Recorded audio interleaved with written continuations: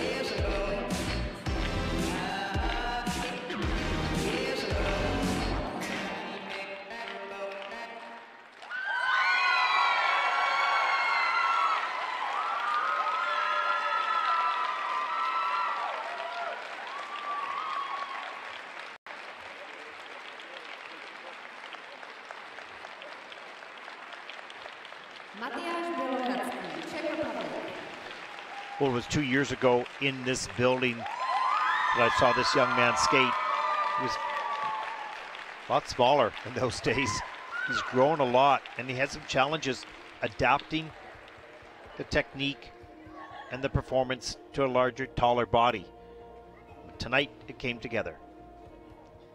Moments of brilliance before, but difficult to control more height in the jumps. Yet today, it all came together. Nice hug from Thomas Werner. So similar in many ways. Thomas was a unique and entertaining skater, as is Matyas. Here's a look at the quad toe loop. Great attempt. almost all the way around, a little under rotated, but looked so well organized. Here's a look at the triple flip. Good height. He was checking out of the jump so nicely, getting out early enough so that the free leg could get back. Here's the triple loop.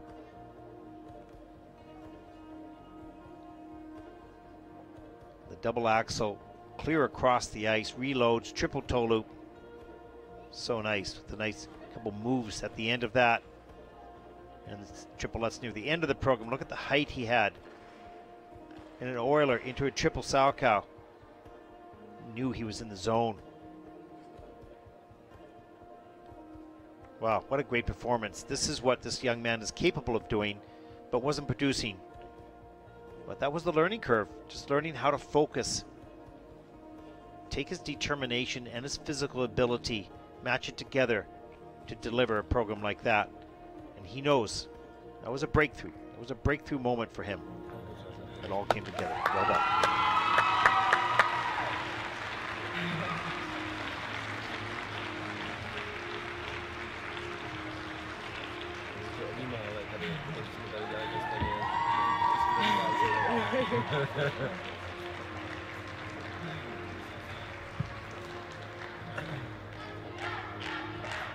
Almost like brothers. They look similar. They're similar skaters. Entertaining, powerful, dynamic. Let's take a look at the scores. Free program score for Matyas.